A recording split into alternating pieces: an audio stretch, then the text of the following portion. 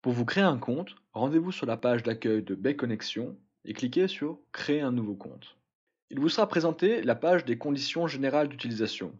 Vous pouvez les lire et cocher la case J'ai pris connaissance de ces conditions et je les accepte. Puis cliquez sur Continuer. Vous pouvez soit créer votre compte à partir de votre adresse électronique, soit à partir de votre compte Google ou LinkedIn. Votre compte est maintenant créé, mais pour pouvoir commencer à recevoir des badges, il va falloir vérifier votre adresse électronique en cliquant sur le lien de confirmation qui vous a été envoyé par courriel. C'est l'occasion d'ajouter une autre adresse à votre compte si vous en avez. Il faut comprendre que ce sont les adresses courriel que les protocoles d'attribution de badges prennent en compte.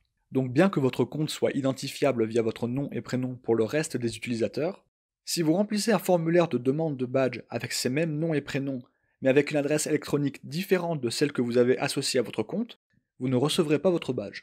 Assurez-vous donc de renseigner toutes les adresses électroniques que vous seriez susceptible d'utiliser.